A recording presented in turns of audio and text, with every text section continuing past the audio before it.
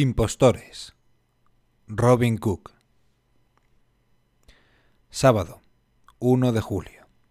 4.45 horas.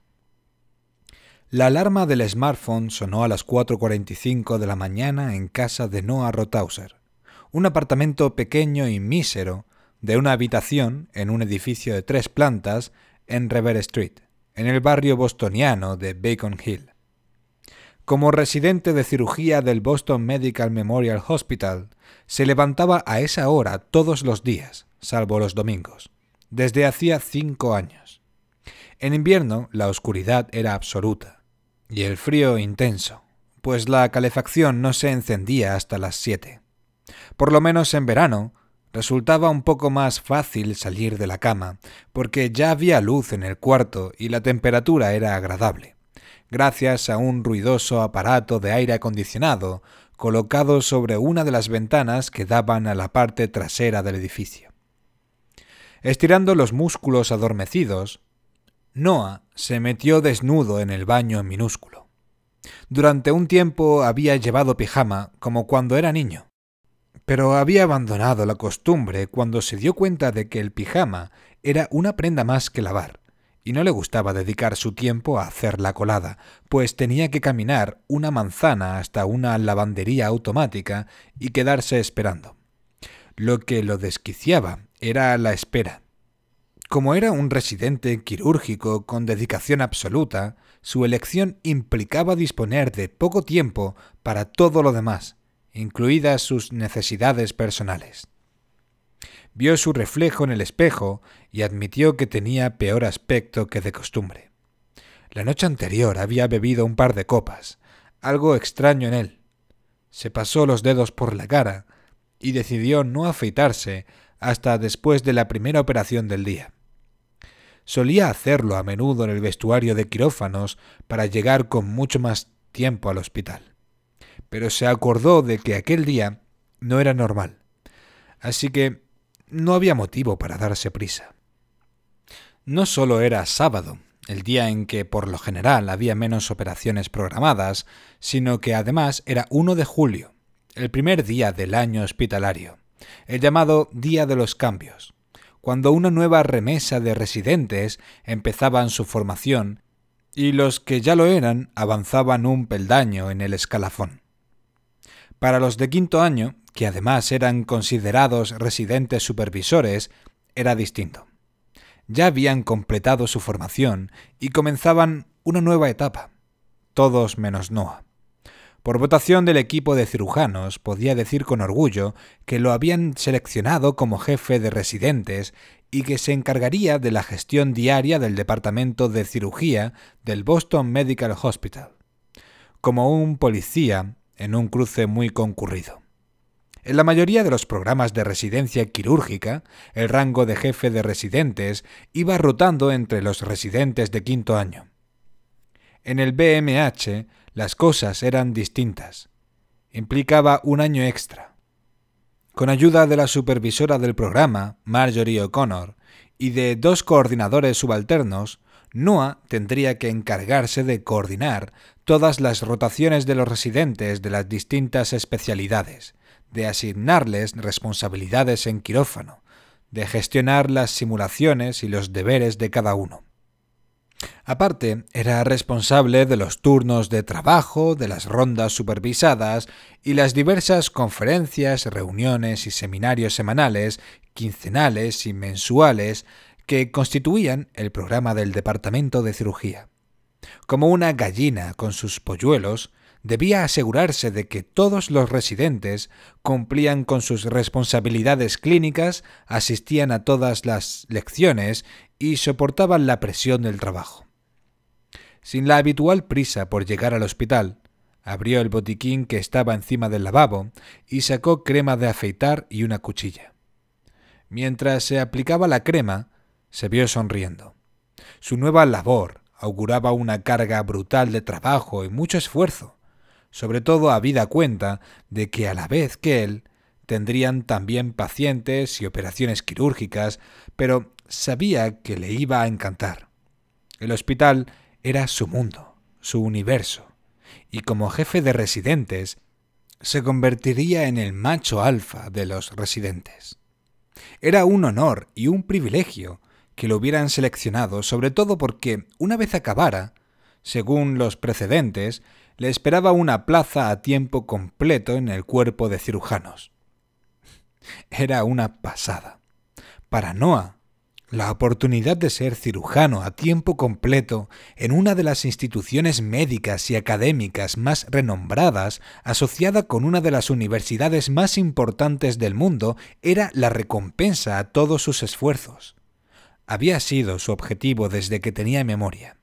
Por fin, todo el sudor, esfuerzo, sacrificio y las luchas en el instituto, en la facultad de medicina y como residente iban a dar su fruto.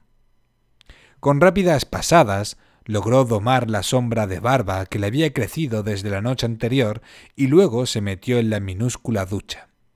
Un momento después estaba fuera, secándose con ganas. No cabía duda de que iba a ser un año muy ocupado, pero lo positivo era que no tendría que volver a encargarse del turno de noche, aunque, conociéndose, se pasaría la mayoría de las noches en el hospital. La diferencia sería que estaría haciendo lo que quería hacer, con operaciones interesantes que podría escoger.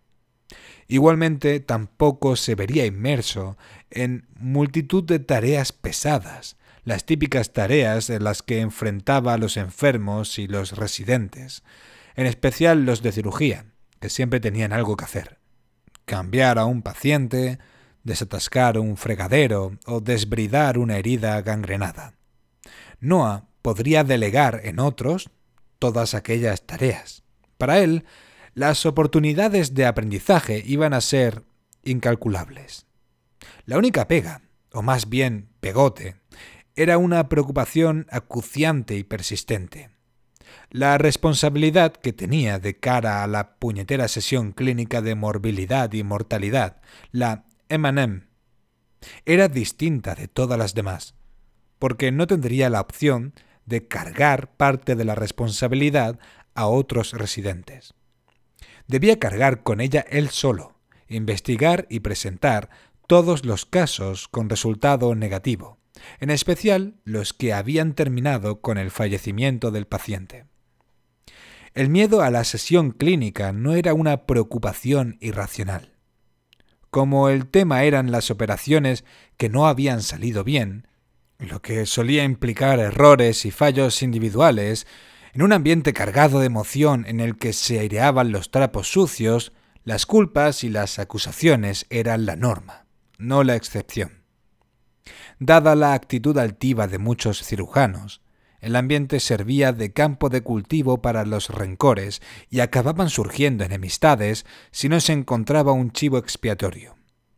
Noah lo había visto durante los últimos cinco años, y el chivo solía ser el mensajero, es decir, el jefe de residentes a cargo de la charla. Le preocupaba que fuera a pasarle lo mismo a él, ahora que le habían dado el puesto, sobre todo tras el desastre de Bruce Vincent. La operación tenía grabada a fuego la palabra problema por muchas razones, una de las cuales era que Noah había estado implicado aunque nunca había cuestionado su decisión de aplicar un bypass de emergencia, sabía que otros sí lo harían.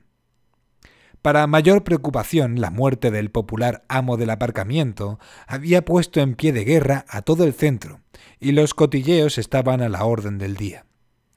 Antes de lo ocurrido, Noah ni siquiera conocía al hombre, porque no tenía coche y nunca había tenido que ir a ninguno de los tres aparcamientos del complejo. Iba andando al trabajo y cuando hacía mal tiempo se quedaba en las dependencias del hospital, más amplias y apetecibles que su propio apartamento. Había visto las fotos de los hijos de Vincent en el tablón de la cafetería, pero no sabía quién era el padre. Sin embargo, ahora entendía que pertenecía a la minoría que no era fan de Bruce Vincent.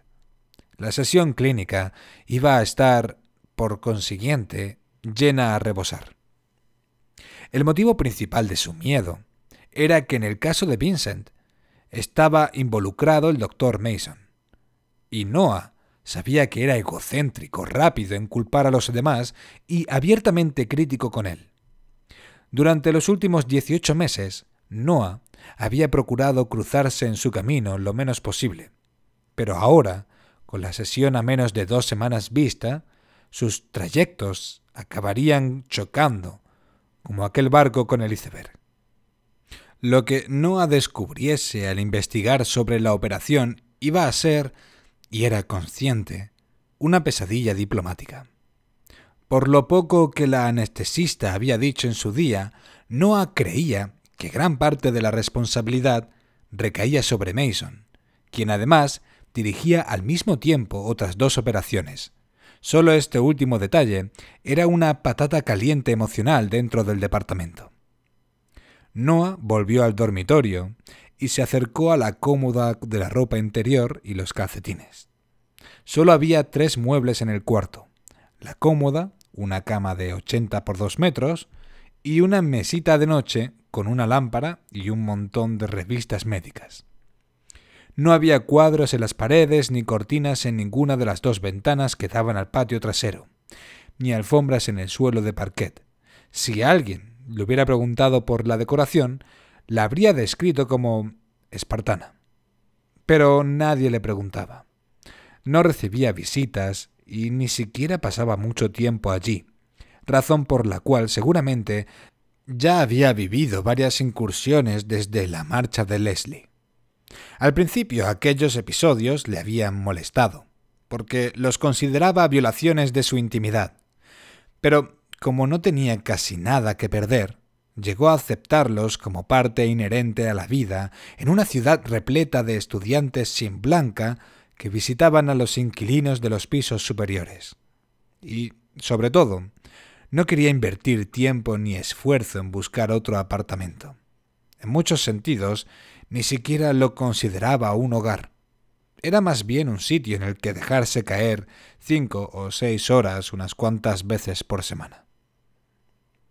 Durante una época, varios años atrás, se había sentido distinto, y el apartamento había sido cálido y acogedor, con cosas como tapetes, reproducciones de obras de arte enmarcadas en las paredes y cortinas en las ventanas. También había habido un escritorio pequeño cubierto de fotografías y una segunda mesita de noche. Pero toda aquella parafernalia hogareña pertenecía a Leslie Brooks, la novia de Noah durante mucho tiempo que se había mudado con él desde Nueva York para estudiar en la Escuela de Negocios de Harvard, tras graduarse ambos en la Universidad de Columbia ella en económicas y él en medicina. Había vivido con Noah hasta terminar ella los estudios, hacía dos años, pero había vuelto a Nueva York con todas sus cosas al recibir una oferta de trabajo importante en el campo de las finanzas.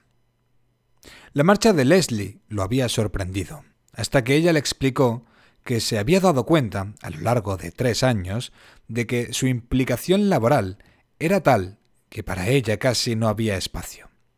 La mayoría de los residentes de cirugía lograban pasar cada vez más tiempo con sus familias a medida que ascendían en el escalafón, pero no a no. Cada año trabajaba más horas, por decisión propia. No hubo rencores por ninguna de las dos partes cuando sus caminos se separaron, aunque Noah se había quedado desolado en un principio, pues había llegado a pensar que en algún momento acabarían casándose. Con todo, tardó poco en darse cuenta de que Leslie tenía razón, y de que había sido un egoísta con su tiempo y con su poca atención. Por lo menos hasta que terminó su formación de estudiante, que él consideraba una actividad que debía consumir 24 horas al día, 7 días a la semana, en sentido metafórico, estuvo casado con la medicina y había pasado muy poco tiempo en casa y con ella. En ocasiones echaba de menos a Leslie y ansiaba la llamada mensual por FaceTime, que ella se esforzaba en continuar manteniendo. Se consideraban el uno al otro buenos amigos.